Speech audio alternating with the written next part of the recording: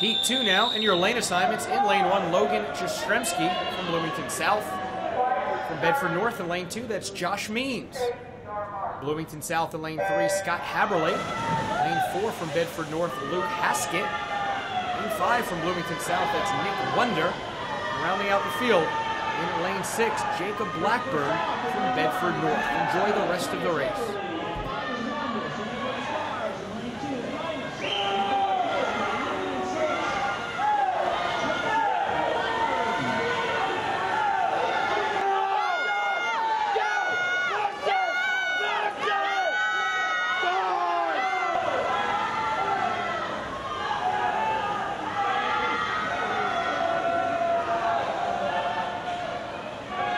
And your results from Heat 2.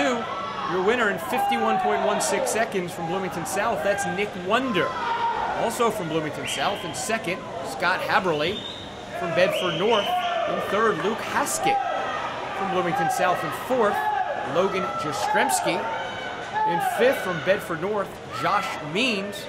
And in sixth place from Bedford North, that's Jacob Blackburn.